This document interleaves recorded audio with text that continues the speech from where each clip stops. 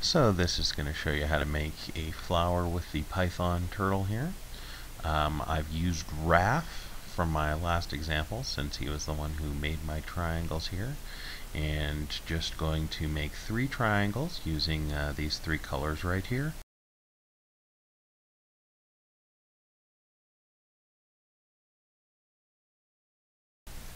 And so when I move down to the loop, what we're going to find is that uh, this array is addressed with the variable that steps through.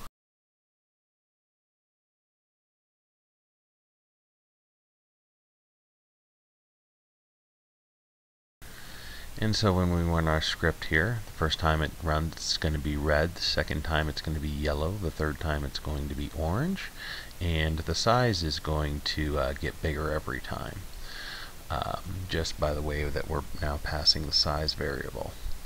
Uh, and then the little part at the bottom here makes uh, the stem of the flower. So let's run it and show you what we got.